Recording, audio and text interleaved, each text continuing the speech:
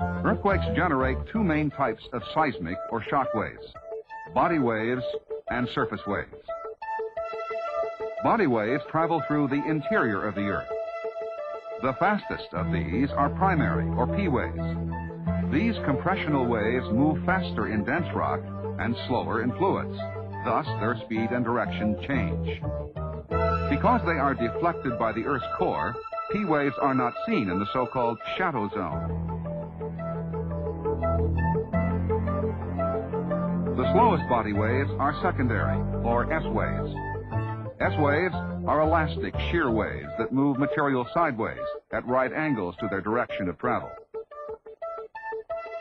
Because secondary waves travel only through solids, they do not penetrate the Earth's outer molten core. For this reason, there is also an S-wave shadow zone.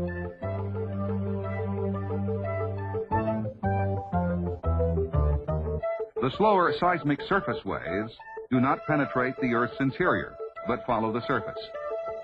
One type of surface wave, the love wave, travels in a circular motion and causes damage by displacing materials horizontally. Love waves can be very damaging. This cracked pavement and these twisted railroad tracks clearly demonstrate their destructive power.